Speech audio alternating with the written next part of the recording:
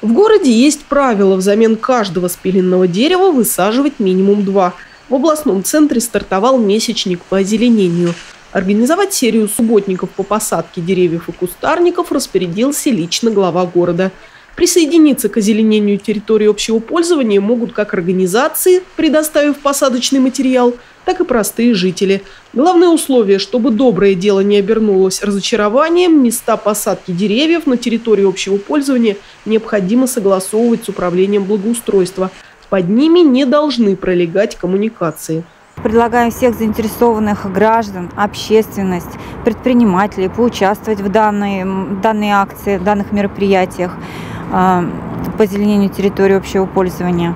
Запланированы мероприятия по озеленению у нас на разделительной полосе э, в районе парка Харенко, на Богдана Хмельницкого, на улице Громобоя, на летчика Житкова, пожалуйста, у нас тоже будет проходить большая акция. То есть мы рады, приходите, участвуйте.